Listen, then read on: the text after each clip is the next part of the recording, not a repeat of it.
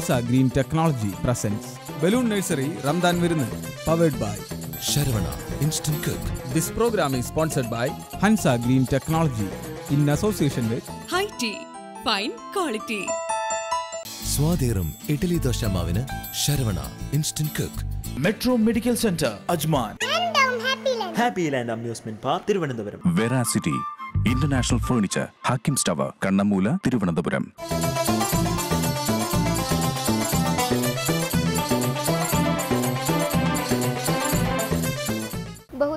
വിശ്വാസികൾ നിന്റെ അടുത്ത് അഭയം തേടി വന്നാൽ നീ അവർക്ക് അഭയം നൽകുക. അവർ ദൈവവചനം കേട്ടറിയട്ടെ. പിന്നീട് അവരെ സുരക്ഷിത സ്ഥാനത്ത് എത്തിച്ചു കൊടുക്കുക. ഖുറാനിലെ ഈ നല്ല വചനത്തോടൊപ്പം നമുക്ക് ഇന്നത്തെ റമദാൻ വിരുന്ന് ആരംഭിക്കാം. റമദാൻ വിരുന്നിലേക്ക് ഏവർക്കും സ്വാഗതം. റമദാൻ വിരുന്നിന്റെ ആദ്യത്തെ സെഗ്മെന്റായ മഹത് വചനങ്ങൾ.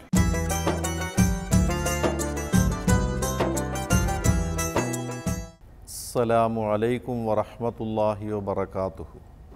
വിശുദ്ധ ഖുർആാന്റെ അവതരണത്തെ സംബന്ധിച്ചാണ് നാം ഇന്നലെ ചർച്ച ചെയ്തത്. ഇവിടെ ശ്രദ്ധേയമായ ഒരു കാര്യം നൂറ്റി പതിനാല് അധ്യായങ്ങൾ മുപ്പത് ഭാഗങ്ങൾ ആറായിരത്തി അറുന്നൂറ്റി അറുപത്തി ആറ് വാചകങ്ങൾ എഴുപത്തിയേഴായിരത്തി നാനൂറ്റി മുപ്പത്തി ഒൻപത് പദങ്ങൾ മൂന്ന് ലക്ഷത്തി ഇരുപത്തി മൂവായിരത്തി പതിനഞ്ച് അക്ഷരങ്ങളുള്ള വിശുദ്ധ ഖുർആൻ. ആ ഗ്രന്ഥം അള്ളാഹു തുടങ്ങിയത് ഇഖ്റ വായിക്കുക എന്ന് പറഞ്ഞുകൊണ്ടാണ്. ഇതൊരു അതിശയമാണ്. സത്യത്തിൽ ഖുർആൻ പോലുള്ള ഒരു ഗ്രന്ഥം ആരംഭിക്കേണ്ടത് അള്ളാഹു ഏകനാണ് എന്ന് പറഞ്ഞുകൊണ്ടോ?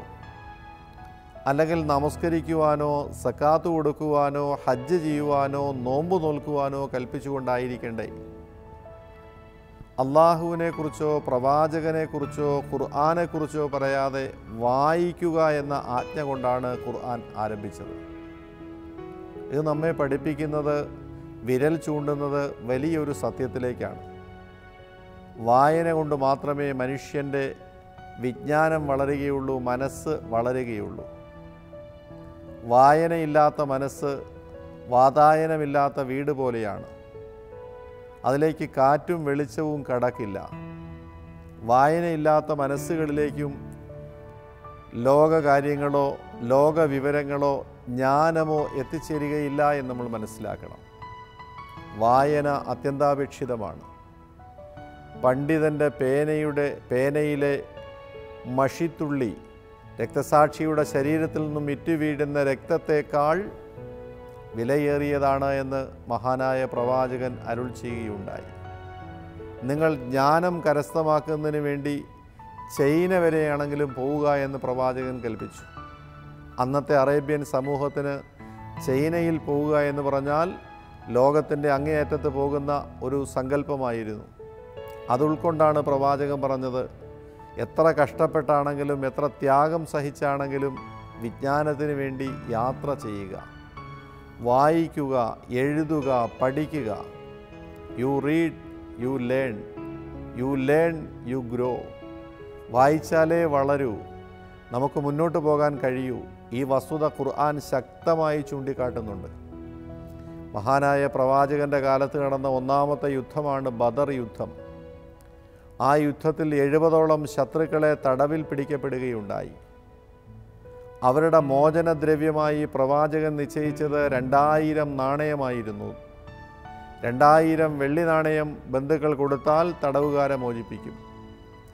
ഇങ്ങനെ നാണയങ്ങൾ കൊടുക്കാൻ പണം കൊടുക്കാൻ കഴിവില്ലാതിരുന്ന തടവുകാരോട് പ്രവാചകൻ പറഞ്ഞത് മദീനയിലെ അക്ഷരാഭ്യാസമില്ലാത്ത പത്ത് പേരെ എഴുത്തും വായനയും പഠിപ്പിക്കാനാണ്.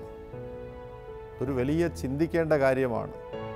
എഴുത്തും വായനയും അറിയാത്ത പത്ത് മുസ്ലിങ്ങൾക്ക് എഴുത്തും വായനയും പഠിപ്പിച്ചാൽ തടവുകാരന് തടവിൽ നിന്ന് മോചനം നേടാം.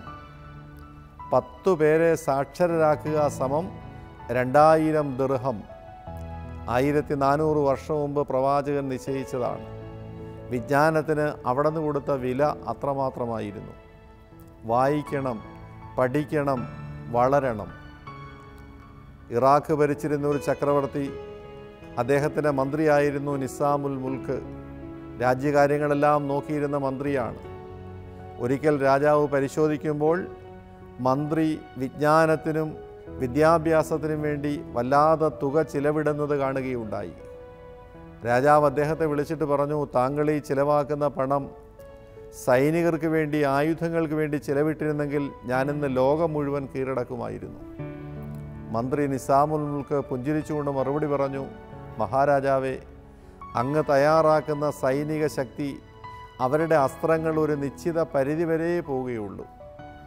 എന്നാൽ ഞാൻ തയ്യാറാക്കുന്ന ഈ വിജ്ഞാന സമൂഹമുണ്ടല്ലോ. അവരുടെ പ്രാർത്ഥനകൾ ആകാശ ഭിത്തികൾ ഭേദിച്ച് അപ്പുറത്ത് പോകുന്നതാണ്. വിജ്ഞാനത്തിന് വേണ്ടി പണം ചെലവാക്കുക ജ്ഞാനികളെ സൃഷ്ടിക്കുക വിദ്യാഭ്യാസം കൊടുക്കുക. ഈ മാസം വായിക്കേണ്ട മാസമാണ്. വിശുദ്ധ റമദാൻ വായനയുടെ മാസമാണെന്ന് മനസ്സിലാക്കി കൂടുതൽ കൂടുതൽ ജ്ഞാനം നേടുവാൻ എല്ലാ വിശ്വാസികളും വിനിയോഗിക്കണമെന്ന് അഭ്യർത്ഥിക്കുകയാണ്. റമദാൻ വിരുന്നിലെ പുണ്യം തേടി എന്ന സെഗ്മെന്റിൽ നമ്മൾ ഇന്നിപ്പോൾ നിൽക്കുന്നത് പാളയം പള്ളിയിലാണ്. ഏകദേശം ഇരുന്നൂറ് വർഷങ്ങൾ പഴക്കമുള്ള ഈ പള്ളി മതസൗഹാർദ്ദത്തിന് കൂടി പേരുകേട്ട ഒരു പള്ളി തന്നെയാണ്. തൊട്ടടുത്ത ഹിന്ദു ദേവാലയവും ക്രൈസ്തവ ദേവാലയവുമുള്ള ഈ ഒരു പള്ളി. ഇവിടെയുള്ള ഒരു നന്മ നിറഞ്ഞ പ്രവർത്തനങ്ങൾ വഴി സാമൂഹികപരമായ പ്രവർത്തനങ്ങൾ വഴി നന്മയാണ് പ്രദാനം ചെയ്യുന്നത്.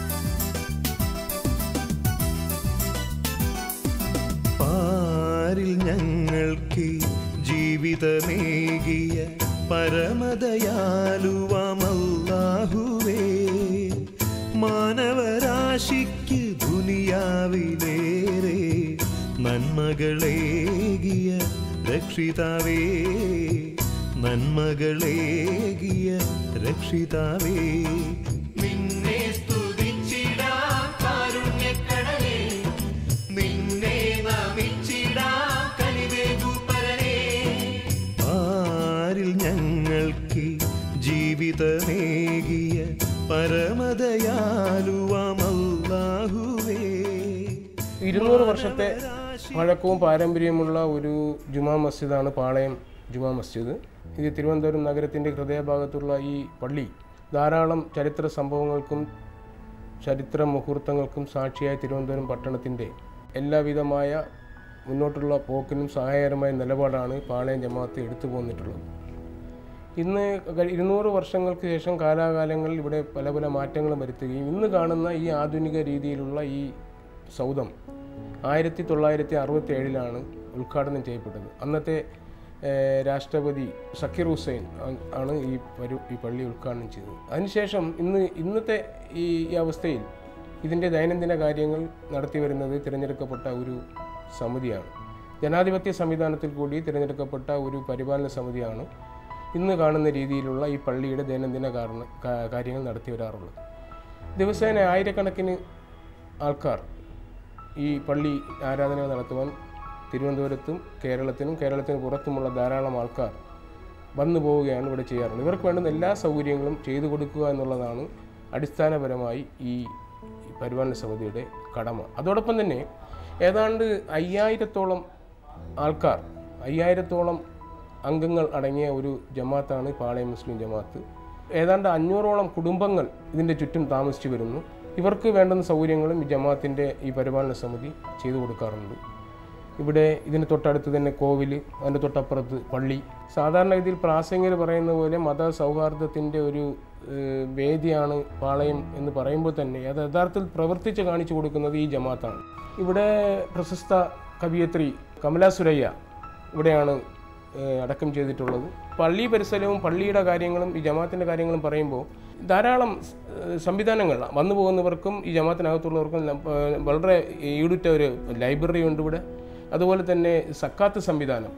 ഈ സക്കാത്ത് സംവിധാനത്തിൽ നിന്ന് ഞങ്ങൾ തുക കളക്ട് ചെയ്തുകൊണ്ട് മാസം നമ്മൾ ഒരു എഴുപതോളം ആൾക്കാർക്ക് മാസ പെൻഷൻ കൊടുക്കാറുണ്ട്. അതുപോലെ തന്നെ ജാതിമത പരിഗണന കൂടാതെ ആർ സി സിന്നും മറ്റും വരുന്ന രോഗികൾക്ക് വൈദ്യസഹായത്തിനായി നമ്മൾ ഇവിടെ നിന്ന് സഹായങ്ങൾ നൽകാറുണ്ട്.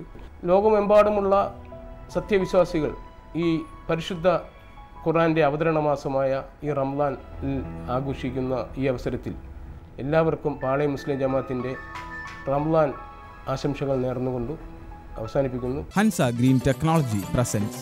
Balloon nursery Ramadan വിരുന്ന്. Hansa green technologies the latest generation company with a veritable array of most modern LED products designed to save the energy. Equipped with all major international accreditations such as CE, ROHS compliance, TUV Rainland, TUV EMC and LM79, Hansa Green Technologies, leveraging the technology the greener way. Hansa Green Technology എന്തിനേച്ചി ഇത്രയധികം? സ്വാദുള്ള ദോശ ഇഡ്ലിയും കഴിക്കാൻ ശരവണയോളം മറ്റൊന്നുമില്ല ഊട്ടിയെ പത്ത് വർഷമായി ഞങ്ങൾ ഈ സ്വാദിനപ്പാ. സ്വാദേറും ഇഡ്ഡലി ദോശ മാവിന് Saravana instant cook quality without compromise gulf നാടുകൾക്ക് നവോന്മേഷം പകരുന്ന ലോകത്തിലെ ഏറ്റവും മികച്ച ചായ. High tea. High tea. Fine quality. ആധുനിക ഉപകരണങ്ങളുടെ സഹായത്തോടെ വിദഗ്ധ ഡോക്ടർമാരുടെ മികച്ച സേവനം. എല്ലാവിധ അലോപ്പതി ചികിത്സാ വിഭാഗങ്ങളോടൊപ്പം ഹോമിയോ ആയുർവേദ വിഭാഗങ്ങളുടെ സേവനവും ലഭ്യമാണ്. വെള്ളിയാഴ്ചയും പൊതു അവധി ദിവസങ്ങളിലും പ്രവർത്തിക്കുന്ന മെട്രോ മെഡിക്കൽ സെന്റർ അജ്മാനിലെ ന്യൂവേമിയ ഏരിയയിൽ ഷെയ്ഖ് ഖലീഫ ബിൻ സായിദ് റോഡിലെ അൽബദർ ബിൽഡിംഗിൽ. അപ്പോയിന്റ്മെന്റുകൾക്കായി വിളിക്കാം. Zero six seven four six nine six nine four metro medical centre Ajman.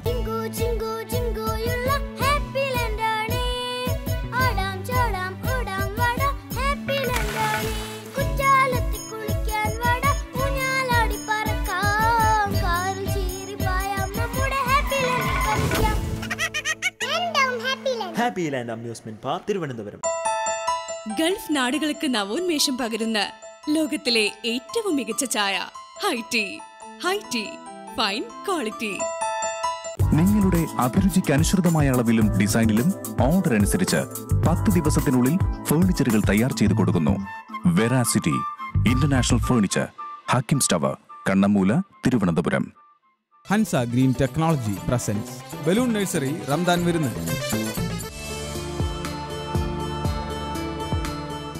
Metro medical centre help പ്ലസിലേക്ക് എല്ലാ മാന്യ പ്രേക്ഷകർക്ക് സ്വാഗതം. പ്രവാചകൻ തിരുമേനി പറഞ്ഞു നിങ്ങളിലെ നോമ്പുകാരൻ മറ്റുള്ളവർക്ക് അപമാനകരമായതോ അവർക്ക് വെറുപ്പുളവാക്കുന്നതായ യാതൊന്നും പറയുകയോ ചെയ്യുകയോ അരുത് ആരെങ്കിലും അവനെ ചീത്ത പറയുകയോ വഴക്കിടുകയോ ചെയ്യുകയാണെങ്കിൽ അവൻ ഇത്രമാത്രം പറയട്ടെ ഞാൻ നോമ്പുകാരനാണ് ഞാൻ നോമ്പുകാരനാണ്. ഈ റംദാനിൽ നല്ലൊരു നോമ്പ് എങ്ങനെ സാധ്യമാക്കാം? എന്നതിനെക്കുറിച്ച് നിങ്ങളോട് ചർച്ച ചെയ്യുന്നു. അജ്മാൻ മെട്രോ മെഡിക്കൽ സെന്ററിലെ പ്രശസ്ത പീഡിയാട്രീഷ്യനും മാനേജിംഗ് ഡയറക്ടറുമായ doctor Jamaluddin Aboobacker. Doctor help പ്ലസിലേക്ക് സ്വാഗതം ചെയ്യുന്നു. അസ്സാം വലൈക്കും ഡോക്ടർ ഡോക്ടർ റംദാൻ വ്രതം സ്ത്രീകൾ പ്രത്യേകിച്ച് ഗർഭിണികൾ പാൽ കൊടുക്കുന്ന അമ്മമാർ കുട്ടികൾ ഇവർക്ക് റംദാൻ വ്രതം നിർബന്ധമാണോ? ഇനി നിർബന്ധമാണെങ്കിൽ എന്തൊക്കെയാണ് അവർ ശ്രദ്ധിക്കേണ്ടത്? റോഷിനി പറഞ്ഞ ഈ മൂന്ന് വിഭാഗവും നോമ്പിൽ നിന്ന് ഒഴിവാക്കപ്പെട്ടിട്ടുള്ളവരാണ്. ഇവർക്ക് നോമ്പെടുക്കുന്നത് നിർബന്ധമില്ല. പക്ഷേ കുട്ടികളെ ഒരു പരിധിവരെ നമുക്ക് ഒരു നോമ്പിന്റെ ഒരു ട്രെയിനിങ് എന്നുള്ള നിലയ്ക്ക് നോമ്പ് നോമ്പെടുപ്പിക്കാവുന്നതാണ്. പക്ഷേ ഇപ്പോൾ ശ്രദ്ധിക്കേണ്ടതെന്ന് വെച്ചാൽ നമ്മൾ ഈ ചൂട് സമയത്ത് കുട്ടികളെ നോമ്പെടുപ്പിക്കുമ്പോൾ അവർക്ക് അവർ വളർന്നതൊക്കെ ഒരു കാര്യം നമ്മൾ മനസ്സിലാക്കേണ്ടത് കുട്ടികൾ നമ്മളുടെ ഒരു ചെറിയ പതിപ്പല്ല. അവർക്ക് അവരുടെ എല്ലാ സിസ്റ്റവും ശരീരത്തിന്റെ എല്ലാ സിസ്റ്റവും വളർന്നുകൊണ്ടിരിക്കുകയാണ്. അപ്പോൾ അതുകൊണ്ട് തന്നെ ഇമ്മെച്യൂരിറ്റി അവർക്ക് മെച്യൂർഡ് ആയിട്ടില്ല. അതുകൊണ്ട് ഇപ്പോൾ ഡീഹൈഡ്രേഷൻ ആണെങ്കിലും മറ്റ് ഭക്ഷണ രീതി ഗ്ലൂക്കോസിന്റെ ഈ ടേൺ ഓവർ ഇതൊക്കെ കുട്ടികളിൽ നമ്മളെ പോലെ അത്ര കാര്യക്ഷമമായി നടക്കുന്നില്ല. അതുകൊണ്ട് അവരെ ഈ ചൂട് ചൂടുകാലത്ത് നമ്മൾ നോമ്പെടുക്കുമ്പോൾ കൂടുതൽ ആരോഗ്യ പ്രശ്നങ്ങളുണ്ടാവും. അതുകൊണ്ട് തന്നെയാണ് നോമ്പ് സമയത്ത് ഇവരെ നോമ്പ് എടുക്കേണ്ടതില്ല എന്ന് പറയുന്നത്. പക്ഷേ പന്ത്രണ്ട് വയസ്സിന് മുകളിലുള്ള ആളുകൾ കുട്ടികൾ ഒരു പ്രായപൂർത്തിയെത്ത കുട്ടികൾക്ക് നോമ്പ് എടുക്കാവുന്നതാണ് അപ്പോൾ അതോടുകൂടി തന്നെ അവരുടെ മെച്യൂരിറ്റി വരികയും ചെയ്യും. അപ്പോൾ ഈ ചൂട് സമയത്ത് അവരുടെ ചൂട് കുറയുന്നത് ഇപ്പോൾ ഡീഹൈഡ്രേഷൻ ഉണ്ടാവും. നമ്മളെ ചൂട് സമയത്ത് നമ്മളുടെ ശരീരത്തിന്റെ താപനില ഒരു മുപ്പത്തഞ്ചിനും മുപ്പത്തിയേഴിനും ഇടയിൽ വളരെ ആ ഒരു നേരോ റേഞ്ചിൽ നിർത്തുന്നത് വിയർപ്പാണ്. ഈ വിയർപ്പ് ശരീരത്തിൽ ഇപ്പോൾ ചൂട് സമയത്ത് ഉണ്ടാവും വിയർപ്പുണ്ടാവും. വിയർപ്പാണ് എഴുപത് ശതമാനം നമ്മുടെ താപനില നിയന്ത്രിക്കുന്നത്. മറ്റ് മാർഗങ്ങൾ ഉണ്ട്. അതായത് കണ്ടക്ഷൻ കൺവെക്ഷൻ എന്ന് പറഞ്ഞിട്ട് ഒരുപാട് നമ്മുടെ മറ്റ് ലെവലിലും നമ്മുടെ ശരീരത്തിന്റെ ചൂട് കുറയുമെങ്കിലും ഈ വിയർപ്പും അത് ബാഷ്പീകരിക്കുമ്പോൾ ശരീരത്തിൽ നിന്ന് വലിച്ചെടുക്കുന്ന ചൂട് കുറച്ചാണ് നമ്മുടെ ശരീരത്തിന്റെ താപനില പ്രധാനമായി നിയന്ത്രിക്കുന്നത്. അപ്പോൾ കുട്ടികളിലാണെങ്കിൽ ഇത് കുറച്ച് അത്ര കാര്യക്ഷമമായി നടക്കുന്നില്ല. അതുകൊണ്ട് രണ്ട് മൂന്ന് കാര്യ പ്രശ്നങ്ങൾ അവർക്കുണ്ടാവും. നോമ്പെടുക്കുകയാണെങ്കിൽ അവർക്ക് ഡീഹൈഡ്രേഷന്റെ പ്രശ്നങ്ങൾ കൂടുതലുണ്ടാവും. അതേപോലെ തന്നെ അവർക്ക് ശരീരത്തിന്റെ താപനില ശരിയായ രീതിയിൽ നിലനിർത്താൻ സാധിക്കാതെ വരും. മാത്രമല്ല അവരുടെ ഗ്ലൂക്കോസിന്റെ ഇതൊക്കെ കുറയുമ്പോൾ അത് കൂട്ടുന്ന മറ്റ് കൗണ്ടർ ഹോർമോൺസും ബാക്കിയുള്ളതൊക്കെ അത്ര കാര്യക്ഷമമായി പ്രവർത്തിക്കാത്തത് മൂലം അവർക്ക് അങ്ങനെയുള്ള ആരോഗ്യ പ്രശ്നങ്ങൾ ഉണ്ടാവാൻ സാധ്യതയുണ്ട്. മുല കൂട്ടുന്ന അമ്മമാരും ഗർഭിണികളും. ഇതൊരു ഗർഭിണിന്റെ കാര്യം എടുക്കുകയാണെങ്കിൽ പല പഠനങ്ങളും തെളിയിച്ചിട്ടുള്ളത് ഈ ഗർഭകാലത്ത് നോമ്പെടുക്കുന്നതുകൊണ്ട് കുഞ്ഞിന് ചിലപ്പോൾ തൂക്ക കുറവുണ്ടാകാൻ സാധ്യതയുണ്ട്. ചിലപ്പോൾ ഒരു അബോർഷൻ മിസ്കാരേജ് ഉണ്ടാകാനുള്ള സാധ്യതയുണ്ട്. ബർത്ത് വെയിറ്റ് കുറയാനുള്ള സാധ്യതയുണ്ട്. പക്ഷേ ഇതൊക്കെയാണെങ്കിലും പല അമ്മമാരും ഈ സമയത്ത് നോമ്പ് എടുക്കാനുള്ള എടുക്കണം എന്നുള്ള നിർബന്ധം ഉള്ള ആളുകളുണ്ടാവും ഉണ്ട്. പക്ഷേ അവർ ചെയ്യേണ്ടത് ഇവർക്ക് എന്തെങ്കിലും ആരോഗ്യ പ്രശ്നങ്ങളുണ്ടോ എന്നുള്ളത് അവർ അവരുടെ ഡോക്ടറുമായി കൺസൾട്ട് ചെയ്യണം. ആരോഗ്യ പ്രശ്നം എന്ന് ഞാൻ പറഞ്ഞത് എന്തെങ്കിലും ഇതിന്റെ നോ ചിലപ്പോൾ ഡയബറ്റിസ് ഉള്ള ആളുകളുണ്ടാവും. അതല്ലെങ്കിൽ ഡയബറ്റിസ് ഈ ഗർഭാവസ്ഥയിൽ വരുന്ന ജസ്റ്റേഷണൽ ഡയബറ്റിസ് ഉണ്ടാവാനുള്ള സാധ്യതയുള്ള ആളുകളുണ്ടാവും. മറ്റ് തൈറോയിഡിന്റെ പ്രശ്നങ്ങളുള്ള ആളുകളുണ്ടാവും. ഇങ്ങനെ എന്തെങ്കിലും പ്രശ്നമുണ്ടോ? അല്ലെങ്കിൽ ഗർഭാവസ്ഥയിൽ ചിലപ്പോൾ ഹൈപ്പർ ടെൻഷൻ പ്രഷർ കൂടാനുള്ള സാധ്യതയുണ്ട്. ഇത് എന്തെങ്കിലും ഉള്ള ആളുകളാണ് തീർച്ചയായിട്ടും നോമ്പെടുക്കരുത്. ആദ്യത്തെ മൂന്ന് മാസവും അവസാനത്തെ മൂന്ന് മാസവും കഴിയുന്നത് നോമ്പെടുക്കാതിരിക്കാനാണ്. എല്ലാ പൂർണ ആരോഗ്യമുള്ള ഒരു ഗർഭിണിയാണെങ്കിൽ കൂടി അവർ നോമ്പെടുക്കാതിരിക്കാനാണ് നല്ലത്. ഒരു മിഡ് ട്രൈമിസ്റ്റർ അതിന്റെ ഇടയ്ക്കുള്ള ആ സമയത്ത് മൂന്ന് മാസത്തിനും ആറ് മാസത്തിനായിട്ടുള്ള സമയത്ത് ആണ് നോമ്പ് വരുന്നതെങ്കിൽ ആ സമയത്ത് നോമ്പ് എടുക്കുന്നത് കൊണ്ട് വലിയ പ്രശ്നങ്ങൾ ഉണ്ടാവുന്നില്ല ഈ കുഞ്ഞിനുണ്ടാവുന്ന ഈ പ്രശ്നം എന്ന് പറയുന്നത് ഈ ഭക്ഷണത്തിന്റെ കുറവ് മൂലമല്ല. കാരണം ഭക്ഷണം അവർ നമ്മൾ നോമ്പ് തുറന്ന് ഭക്ഷണ താഴത്തിനുള്ള സമയത്ത് കഴിക്കുന്ന ഭക്ഷണം തന്നെ മതി. പക്ഷേ വെള്ളത്തിന്റെ ഇത് കുറയുന്നുണ്ട് ഡീഹൈഡ്രേഷൻ കുറയുന്നതുകൊണ്ടാണ് കുഞ്ഞിന് ഈ പ്രശ്നങ്ങൾ ഉണ്ടാകുന്നത് ഒരു കാര്യം നോമ്പിന്റെ സമയത്ത് ആ ഫാസ്റ്റിംഗ് സമയത്ത് നമ്മൾ ശ്രദ്ധിക്കാനുള്ളത് ഈ ഡീഹൈഡ്രേഷന്റെ എന്തെങ്കിലും സിംറ്റംസ് അവർക്കുണ്ടോ എന്നുള്ളത് നോക്കണം. ഡീഹൈഡ്രേഷൻ സിംറ്റംസ് ഞാൻ പറഞ്ഞ ഉദ്ദേശിച്ചത് തോന്നുന്ന നമുക്ക് പെട്ടെന്ന് തന്നെ തലവേദന നല്ല അമിതം വളരെ അസ അസഹനീയമായ തലവേദന വരുന്നു. തലകറക്കം വരുന്നു. യൂറിൻ വളരെ ഹൈ കളേഡ് ആയിട്ടുള്ള യൂറിൻ വളരെ സ്മെല്ലി ആയിട്ടുള്ള യൂറിൻ പോകുന്നു. പിന്നെ തൂക്കം ഒരു പെട്ടെന്ന് തന്നെ ഒരു രണ്ട് കിലോ. ഇന്നലെ നമ്മൾ നോക്കിയപ്പോൾ ഒരു എഴുപത്തഞ്ച് കിലോ ഉള്ള ആൾ പെട്ടെന്ന് ഇന്ന് നോക്കിയപ്പോൾ ഒരു എഴുപത്തിമൂന്ന് കിലോ ആവുന്നു അല്ലെങ്കിൽ എഴുപത്തിരണ്ട് കിലോ ആവുന്നു. അങ്ങനെ എന്തെങ്കിലും പെട്ടെന്ന് വളരെ പ്രകടമായിട്ടുള്ള ഒരു തൂക്ക കുറവുണ്ടാവുകയാണെങ്കിൽ അതൊരു ഡീഹൈഡ്രേഷൻ ലക്ഷണമാണ്. അപ്പോൾ ഇത് ഇത്തരത്തിൽ ഇത് കാണുകയാണെങ്കിൽ ഉടനെ തന്നെ നോമ്പ് വിടണം. അതല്ലെങ്കിൽ മറ്റ് പ്രശ്നങ്ങളിലോട്ട് പോകാൻ സാധ്യതയുണ്ട്. പിന്നെ മുലയൂട്ടുന്ന അമ്മമാർ മുലയൂട്ടുന്നത് കൊണ്ട് മറ്റ് പ്രശ്നങ്ങളൊന്നുമില്ല. മുലപ്പാലിൽ മറ്റ് കാര്യമായിട്ടുള്ള മാറ്റങ്ങളൊന്നും മുലപ്പാലിൽ വരുന്നില്ല ഫാസ്റ്റിംഗ് കൊണ്ട്. പക്ഷേ ഇവിടെ അമ്മ ഒരു അഞ്ഞൂറ് കാലറി മുലകൂട്ടുന്ന അമ്മ അഞ്ഞൂറ് കാലറി കൂടുതൽ കഴിക്കേണ്ടതുണ്ട്. മാത്രമല്ല ധാരാളം വെള്ളം കുടിക്കേണ്ടതുണ്ട്. കാരണം മുല മുലപ്പാലിനനുസരിച്ചിട്ട് അവരുടെ ശരീരത്തിലെ ജലം ആ, മുലപ്പാലിന് വേണ്ടിയിട്ട് ഉപയോഗിക്കുന്നതുകൊണ്ട് ഡീഹൈഡ്രേഷന് സാധ്യതയുണ്ട്. പകല സമയത്ത് അവർക്ക് വെള്ളം കുടിക്കാനും സാധിക്കുന്നില്ല. അപ്പോൾ അതുകൊണ്ട് ഡീഹൈഡ്രേഷൻ ഉണ്ടാവാനുള്ള സാധ്യതയുണ്ട്. പക്ഷേ കുഞ്ഞിന് ഈ മുല മുലപ്പാൽ കൊടുക്കുന്നതുകൊണ്ട് യാതൊരു പ്രശ്നവും ഉണ്ടാവുന്നില്ല എന്നുള്ളതാണ് പഠനങ്ങൾ തെളിയിക്കുന്നത്. ആശംസകൾ എന്നും നമുക്ക് സന്തോഷം തരുന്നവയാണ്.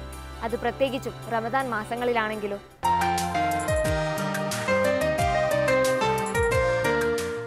അസ്സാം വലൈക്കും പുണ്യമാസമായ റംസാനിന്റെ പ്രത്യേകതകൾ പലതാണ്.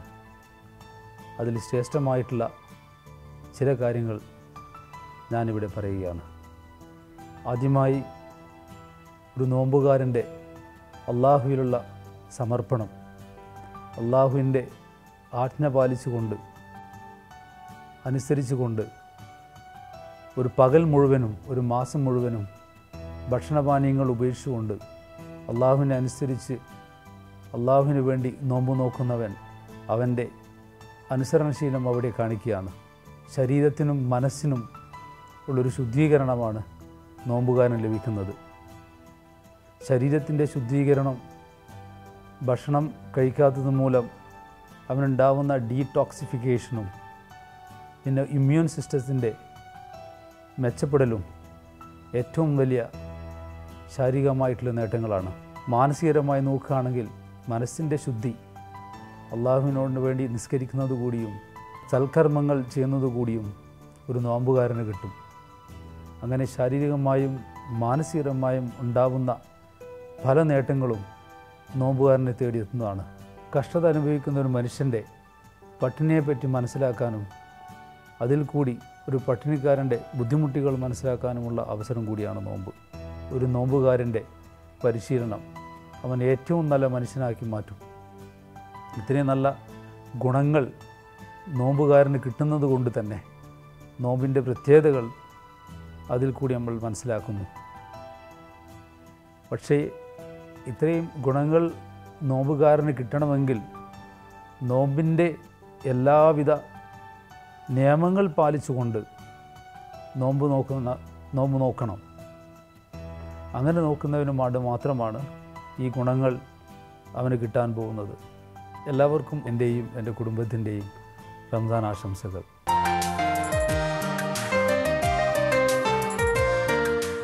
പരിശുദ്ധ റമദാൻ മാസത്തിന്റെ വിശുദ്ധി ഉൾക്കൊണ്ടുകൊണ്ട് ഈ നോമ്പ് മാസം മുൻപോട്ട് പോകാൻ എല്ലാ വിശ്വാസികളെയും ദൈവം സഹായിക്കട്ടെ എന്ന് ഞാൻ ആശംസിക്കുകയാണ്.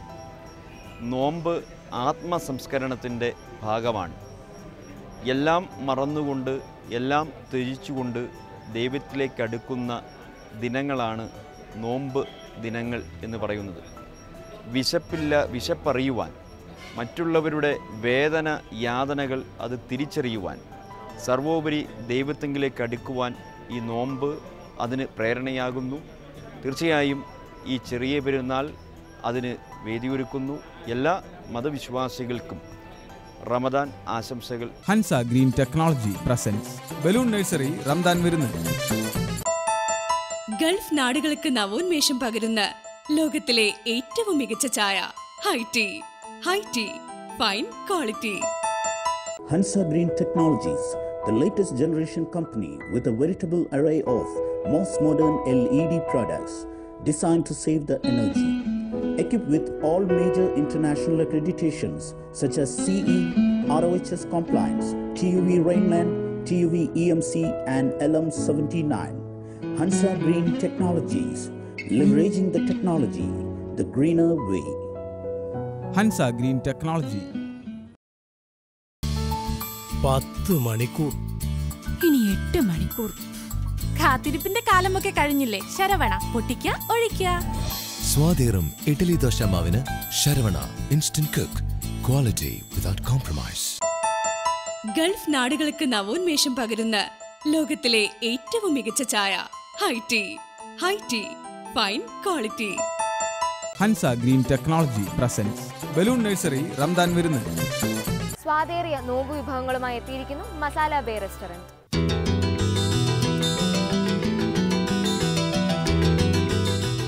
അസ്സാമു അലൈക്കും. എല്ലാ മാന്യപ്രേക്ഷകർക്കും മസാല ബേയുടെ റംസാൻ വിഭവങ്ങളിലേക്ക് സ്വാഗതം. ഇന്ന് നമ്മോടൊപ്പം വന്നിരിക്കുന്നത് മസാല ബേയുടെ ഷെഫായ ടിബിനാണ്. സോ ഇന്ന് ടിബിൻ എന്താണ് ഞങ്ങൾക്ക് വേണ്ടി ഉണ്ടാക്കാൻ പോകുന്നത്? ചിങ്കാരി ചിക്കനാണ് ചിങ്കാരി ചിക്കൻ ഓ പേര് കേൾക്കുമ്പോൾ തന്നെ അറിയാം. എന്തോ ഒരു ഒരു രഹസ്യം ഉള്ള ഒരു സംഭവമാണ്. അപ്പോൾ നമുക്ക് നോക്കാം എന്താണ് ഇതിലെ ചേരുവകൾ എന്തൊക്കെയാണെന്ന് നമുക്ക് നോക്കാം. വറ്റൽമുളക് കടുക് കടുക് വേപ്പില വേപ്പില സാൾട്ട് ഗരം മസാല മല്ലിപ്പൊടി Kashmiri chilli powder Kashmiri chilli powder chilli powder chilli powder മഞ്ഞൾപ്പൊടി. ഓക്കെ. ഓക്കെ ഇഞ്ചി ആൻഡ് വെളുത്തുള്ളി ഇതൊക്കെ ചോപ്പ് ചെയ്തതാണ്. മെയിൻ ഇൻഗ്രീഡിയൻസ് ആണ് ഇതിന്റെ നമ്മൾ വിനീഗറിൽ സ്റ്റോക്ക് ചെയ്ത് വെച്ചേക്കുന്നത് നാട്ടിലൊക്കെ നാട്ടിൻ പുറത്തൊക്കെ പറയാം ആ ഉപ്പിലിട്ട് വെച്ചേക്കുന്ന ആ ഉപ്പിലിട്ട മുളക്. വിനീഗർ ഉപ്പും കൂടെ ഒക്കെ ഇട്ട് വെച്ചേക്കുന്നത് അപ്പം ഇതിന് ചിക്കൻ? അതിനുള്ള ചിക്കൻ. ചിക്കനാണ് ഓക്കെ അപ്പം നമുക്ക് സ്റ്റാർട്ട് ചെയ്യാം. ആദ്യമായിട്ട് ഓയിൽ ഒഴിക്കുക ഓക്കെ ഓയിൽ ആവശ്യത്തിന് കടുക്. ഓക്കെ ആദ്യം തന്നെ കടുക് പൊട്ടിക്കണം. കടുക് ഒന്ന് പൊട്ടുന്നതാണ് ഓക്കെ അപ്പം കടുക് പൊട്ടുവാണ്. നമ്മൾ വീട്ടിലൊക്കെ കാണാറുണ്ട് കടുകൊക്കെ പൊട്ടിക്കുന്നത്. ഏകദേശം കടുക് പൊട്ടി. ഓക്കെ. അതിന് നമ്മൾ red chilli red chilli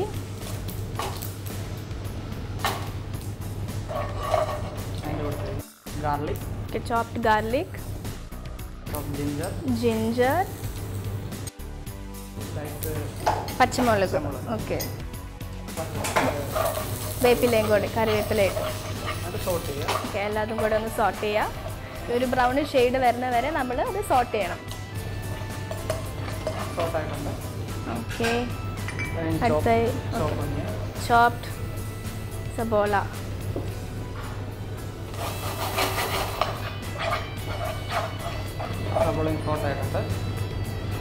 അടുത്തത് നമ്മൾ ടൊമാറ്റോ ഇടാൻ പോവാണ്. ഓക്കെ. ടൊമാറ്റോ ഇട്ടു. അതും ഒന്ന് സോട്ട് ചെയ്യാം ഓക്കെ. ഇനി നമുക്ക് മസാലകൾ ഇടാം. മഞ്ഞപ്പൊടി. ആവശ്യത്തിന് chilli powder okay. Okay spicy ഡിഷാണ് സോ കുറേ കുറേ ചില്ലി പൗഡർ ഇടും. കശ്മീരി ചില്ലി ഓക്കെ മല്ലിപ്പൊടി ലൈറ്റായിട്ട് ഗരം മസാല. ഇതാണ് ഇതിൽ മസാലകൾ ഇടുന്നത്. സോ അതെല്ലാം കൂടെ നമ്മൾ നന്നായിട്ട് ഒന്ന് സോട്ട് ചെയ്തെടുക്കണം.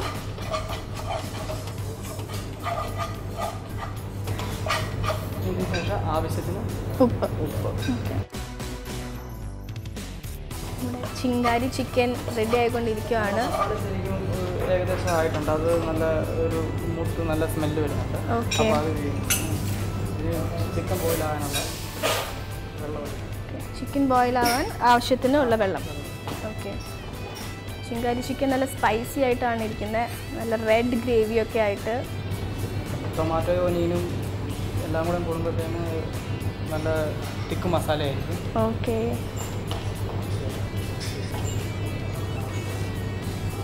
തിളച്ചിട്ടുണ്ട്.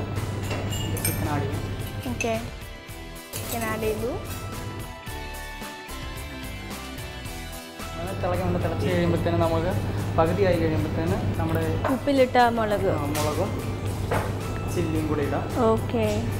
ഈ ചില്ലിയുടെയും ഈ സോസിന്റെയും കൂടെ ഫ്ലേവറും കൂടെ വരുമ്പോഴാണ് ഇതിന്റെ ചിങ്കാരി ശിങ്കാരി എന്നുള്ള ഓക്കെ. ഏകദേശമായിട്ടുണ്ട്. ഓക്കെ അപ്പോൾ ശിങ്കാരി ചിക്കൻ ഓൾമോസ്റ്റ് റെഡി ആയി കഴിഞ്ഞു. എനിക്ക് ശിങ്കാരി ചിക്കൻ കഴിക്കാനായിട്ട് ഇവിടെ ശൃംഗാരം കൊള്ളുകയാണ്.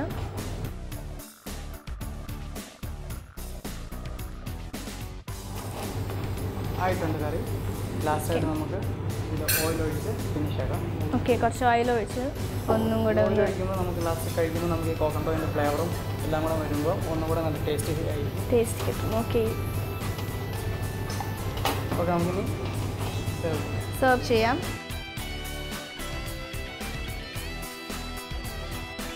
അപ്പോൾ ചിങ്കാരി ചിക്കൻ റെഡി ആയിരിക്കുകയാണ്. ഞാൻ ടേസ്റ്റ് ചെയ്തിട്ട് ഇത് എങ്ങനെയുണ്ടെന്ന് പറയാം. നല്ല അടിപൊളിയായിട്ടുണ്ട്. പേര് പോലെ തന്നെ നല്ല സ്പൈസിയാണ് അപ്പം ചിങ്കാരി ചിക്കൻ പോലെയുള്ള ഡിഷുകൾ മസാല ബേ ട്രൈ ചെയ്യണം. ട്രൈ ചെയ്യാനായിട്ട് ദുബായിലുള്ള ഡിസ്കവറി ഗാർഡൻസ് അല്ലെങ്കിൽ കരാമ ഇവിടെ വന്നിട്ട് എന്തായാലും നിങ്ങൾ ട്രൈ ചെയ്യണം. മസാല ബേയുടെ റംസാൻ വിഭവങ്ങൾ ഇവിടെ അവസാനിക്കുന്നില്ല. നാളെ ഇതേ സമയം വീണ്ടും കാണാം. അതുവരയ്ക്കും ബൈ ഫ്രം കാത്തറിൻ സക്കാത്ത് ഇസ്ലാമിലെ ഒരു നിർബന്ധ കർമ്മമാണ്. സമ്പത്തുള്ളവൻ അതിന്റെ രണ്ടര ശതമാനം പാവങ്ങൾക്ക് കൊടുത്തേ പറ്റൂ.